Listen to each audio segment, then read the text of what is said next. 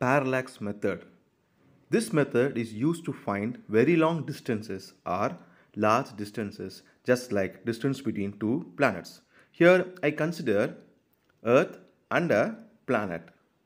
So the distance between the Earth and a planet is found by taking two reference point on the Earth's surface. A and B which are separated by a distance small b. The two points are at a distance of capital D from the planet which we have to find. And theta is the angle made by the planet.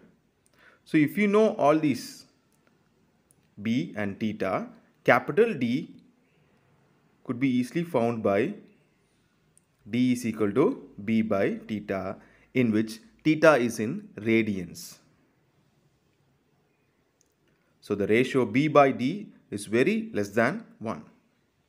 This method can also be used to find the angular size or diameter of a planet.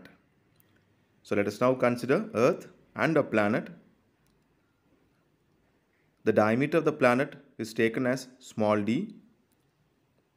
The two ends are connected to the Earth's surface just like viewing from a telescope from the Earth's surface.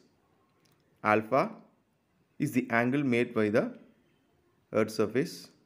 So capital D which we have already known.